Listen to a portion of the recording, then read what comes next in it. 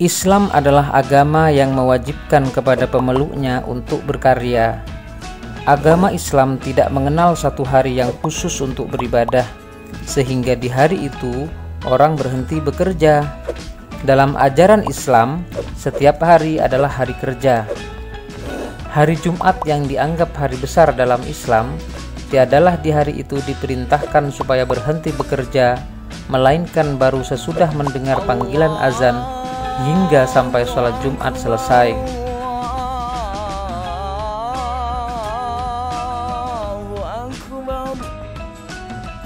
Beginilah seharusnya kehidupan seorang muslim di hari Jumat, bekerja dan jual beli sebelum sholat, kemudian dengan cepat mengingat Allah dengan melaksanakan sholat dan kembali bertaburan di bumi mencari karunia Allah setelah selesai melaksanakan sholat.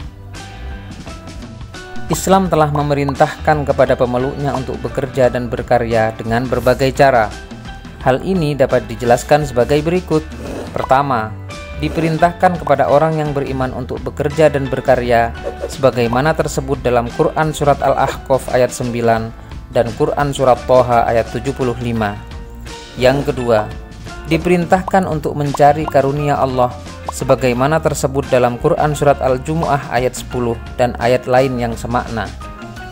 Yang ketiga, diperintahkan untuk meneliti segala sesuatu yang ada di alam ini sebagaimana tersebut dalam Quran surat Al-A'raf ayat 185.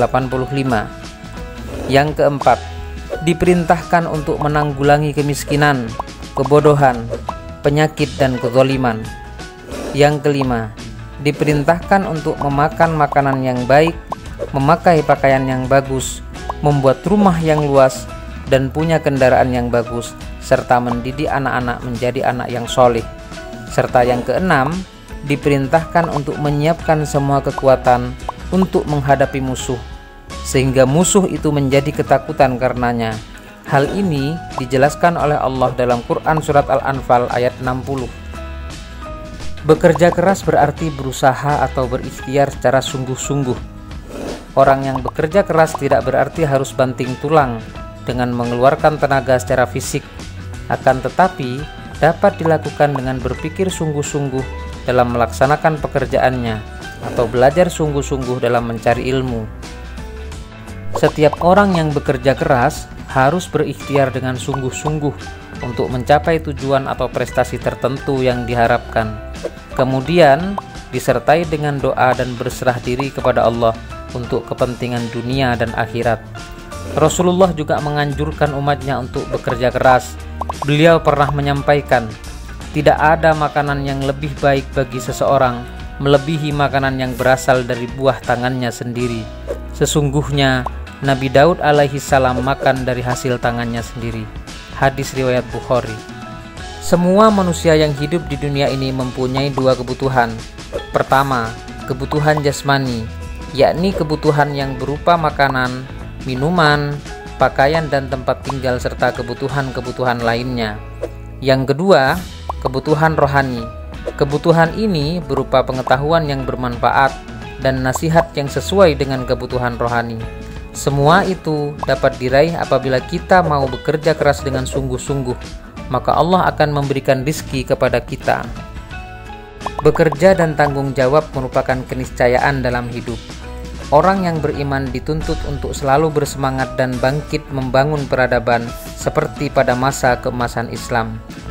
Syarat untuk itu tidak cukup ditempuh dengan kerja keras, tetapi harus kerja cerdas dan bertanggung jawab.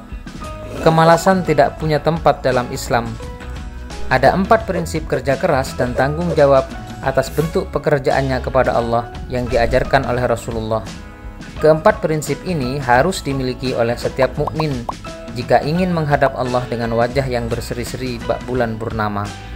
Pertama, bekerja secara halal. Halal dari segi jenis pekerjaan sekaligus cara menjalankannya. Yang kedua, bekerja demi menjaga diri supaya tidak menjadi beban hidup bagi orang lain. Yang ketiga, bekerja demi mencukupi kebutuhan keluarga. Serta yang keempat, bekerja untuk meringankan beban hidup tetangga. Orang yang bekerja keras akan dengan senang hati menjalani kehidupan ini. Setiap detik kehidupan yang dijalaninya adalah kerikil kecil bagi dasar bangunan masa tuanya. Setiap detak nafas kehidupan dilaluinya dengan kepuasan hati, dan setiap langkahnya adalah perbuatan yang bermanfaat bagi siapa saja yang dijumpainya.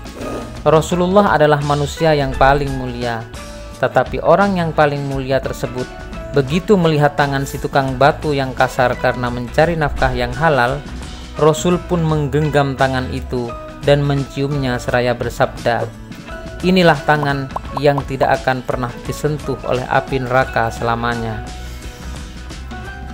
Peristiwa tersebut di atas memberikan gambaran kepada kita bahwa sebenarnya ada korelasi antara perilaku kerja keras dengan sikap jujur, tanggung jawab, adil dan toleransi dalam kehidupan sehari-hari. Coba renungkan Bagaimana respon para sahabat terhadap perilaku Rasulullah ketika mencium tangan tukang pemecah batu yang kemudian diwujudkan dalam sebuah pertanyaan. Wahai Rasulullah, seandainya kami bekerja seperti yang dilakukan orang itu, apakah kami dapat digolongkan di jalan Allah atau fi sabilillah?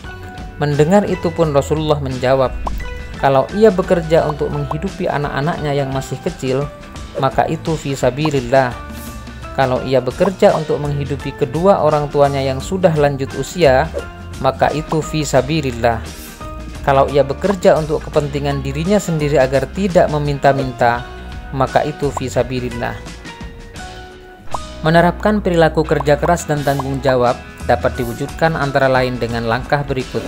Pertama, menggunakan waktu secara efektif dan efisien.